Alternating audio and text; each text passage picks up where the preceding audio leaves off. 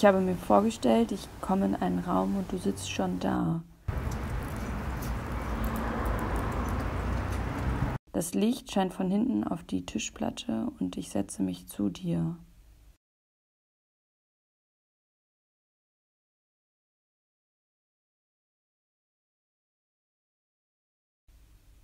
Du sitzt da an dem Tisch.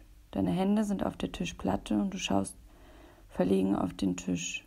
Ich frage mich, ob du dich daran erinnerst, als wir damals im Park spazieren waren und ich frage mich, ob du noch weißt, warum ich dir damals nicht sagen konnte, wieso ich gehen musste. Du schaust mich immer noch nicht an.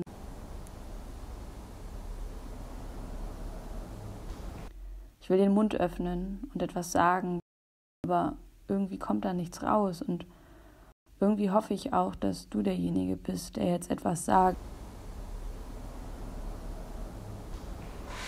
Hallo waren die ersten Worte, die ich rausbrachte, beziehungsweise das Wort.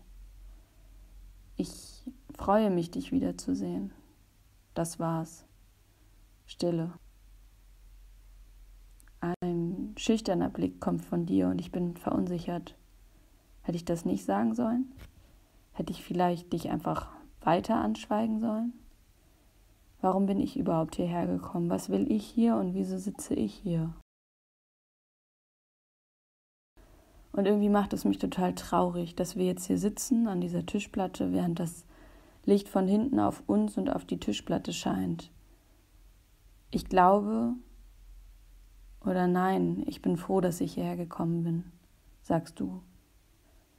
Auf einmal löst sich etwas in mir. Ich glaube, es ist der Kloß in meinem Hals, der die ganze Zeit da war, den ich aber nicht so richtig zuordnen konnte. Ich auch, sage ich. Und nun sitzen wir da und schauen uns einfach an. Dein Blick streift immer wieder an mir vorbei, aber länger als ein paar Sekunden hältst du es nicht aus. Ich beginne langsam, mich auf dem Stuhl hin und her zu bewegen. Dein Haar fällt dir ins Gesicht und wieder fallen mir die grauen Härchen auf, die du damals noch nicht hattest. Damals, als wir im Park spazieren waren und ich dann gegangen bin und nicht erklären konnte, wieso ich gegangen bin.